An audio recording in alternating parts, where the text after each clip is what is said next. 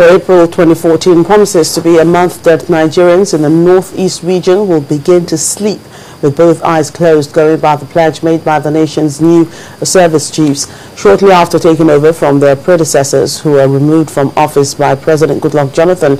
The service chiefs, led by the Chief of Defense Staff, Air Marshal Alex Badeh, pledged that the security challenges in the three northern states occasioned by the activities of Boko Haram would be resolved before April 2014.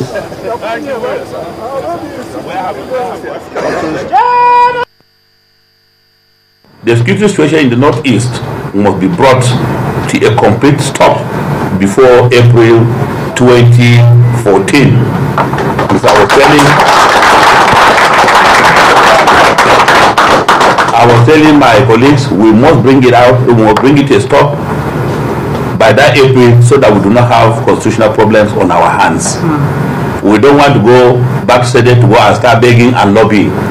If we do our work cohesively, I can tell you, General Minimah, you will finish that thing in no time. Mm. And I can